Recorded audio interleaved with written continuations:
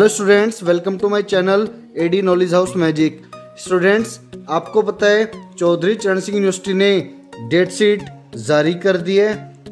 आपके जो एग्ज़ाम्स है, वो स्टार्ट होने वाले हैं। यूजी पीजी सभी प्रोग्राम्स के first year final year first sem second sem सभी परीक्षाएँ स्टार्ट होने वाली है। 10 अप्रैल 2021 से। आप सभी तैयारी में लगे हुए हो। बट आज यूपी गवर्नमेंट ने पंचायत चुनाव की डेट की घोषणा कर दी है, जो एक बहुत बड़ी समस्या पैदा हो गई है सभी छात्रों के लिए। जी हाँ सभी छात्रों के लिए ये समस्या बन सकती है। यूपी में जो चुनाव होंगे, वो चार चरणों में होंगे।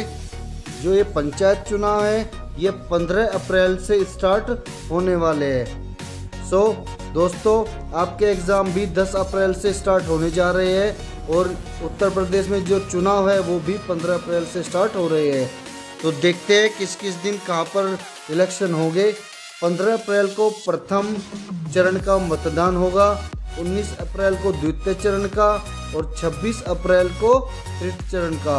और 29 अप्रैल को लास्ट चुनाव यूपी में होने वाला है। तो ये जो चार तिथि है, इसमें जो भी चरण सिंह यूनिवर्सिटी के एग्ज़ाम्स हो गए उन्हें करा पाना मुश्किल हो जाएगा चरण सिंह यूनिवर्सिटी को। जी हाँ ये डिसीज़न, फाइनल डिसीज़न यूनिवर्सिटी ही लेगी कि इन एग्ज़ाम्स को पोस्टपोन किया जाएगा कि नहीं किया जाएगा।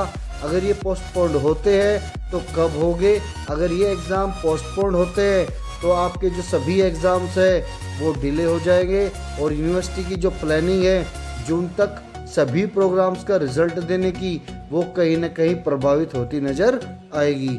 तो कहीं ना कहीं जो बच्चे तैयारी में लगे हुए हैं, उनके लिए ये खुशखबरी नहीं है। इससे आपका जो एग्ज़ाम शेड्यूल है, वो डिस्टर्ब होने जा रहा है।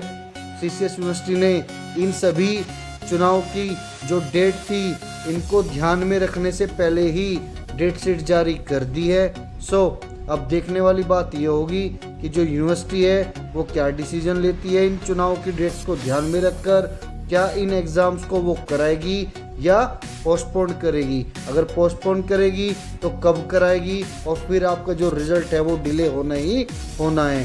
सो so, दोस्तों अब देखते हैं जब भी यूनिवर्सिटी की तरफ़ से कोई गाइडलाइंस आएगी या कोई संशोधन किया जाएगा डेट शीट में तो मैं आपको ज़रूर बताऊँगा। मेरे चैनल को सब्सक्राइब करना ना भूले और इस वीडियो को लाइक और अपने सभी फ्रेंड्स के साथ में शेयर करना ना भूले। इस वीडियो को देखने के लिए धन्यवाद।